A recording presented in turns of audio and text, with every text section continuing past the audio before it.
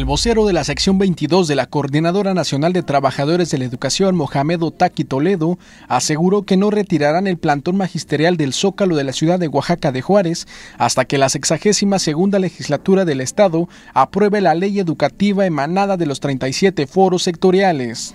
En entrevista, el también auxiliar de prensa y propaganda señaló que hay una irresponsabilidad de los legisladores locales, ya que a menos de un mes de terminar este año no han sido capaces de respetar el acuerdo firmado desde el mes de marzo. Es por ello que las y los diputados son los responsables que aún se mantenga el plantón magisterial, además de las consecuencias que esto está teniendo en el primer cuadro de la verde antequera. Seguiremos impulsando y si eso les incomoda a ellos, tanto al gobierno federal como al gobierno estatal como a los diputados, de por qué está el, plantón representativo, pues es bajo su responsabilidad lo que pueda estar sucediendo. Y, que quede claro, ese plantón representativo no está, no está prácticamente eh, generando malestar a la ciudadanía, no está generando eh, descontento social que se está dando no solamente a nivel estatal, sino a nivel nacional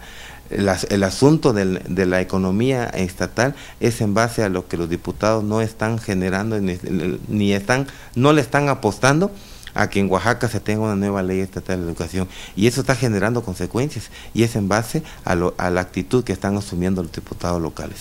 Ante la posible controversia constitucional que el gobierno federal pueda aplicar en la entidad, Otaki Toledo indicó que no permitirán este golpeteo político, por lo cual desde el primero de enero iniciarán con la huelga nacional en todos los estados de la República en donde tiene presencia la coordinadora nacional. Por lo cual, Mohamed Otaki añadió que para el 2015 el plantón magisterial se va a incrementar no solo en la ciudad de Oaxaca de Juárez, sino también en la Ciudad de México, hasta lograr la abrogación de la reforma educativa. Pues la única respuesta que tienen de aumento es que también existe el riesgo de una, una agitación social, no solamente en Oaxaca, sino a nivel nacional.